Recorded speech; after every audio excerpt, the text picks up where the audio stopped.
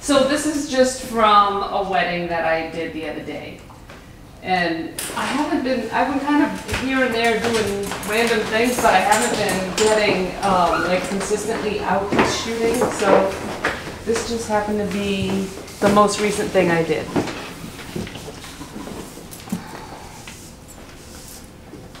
So that's a great shot. I love the way the, the guests frame the, uh, Oh, that is lovely. The challenge with, um, with portraits in general and, and weddings are worse because they're such a dynamic event. It's- At the end of the day, you know, eighty percent of the photo is the subject and how they react to the camera, if, if they know it's going off. Um, you know, Somebody who's not comfortable being photographed, you're not gonna get that kind of result from. So here's a kind of a selfie before, I call these selfies.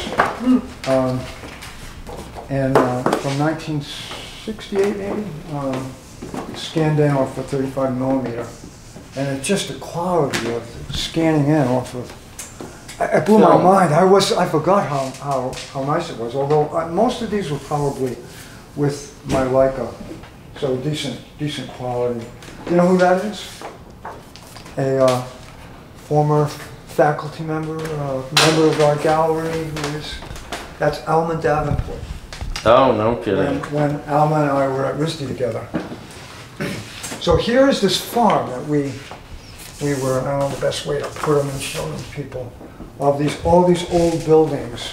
And so I wanted to have a couple, and in this is, you know, how much you're documenting the farm, how much are you kind of going into the people there, and how much is the past and how much is the present. So we don't know yet what, um, what's happening with that. And technically, a lot of this, I've been experimenting a lot with, um, since these started out as black and white. Some have been playing with the new feature in Photoshop of uh, auto uh, Yeah, colorization. Color. Yeah, it's been a blast because people haven't seen it in 50 years.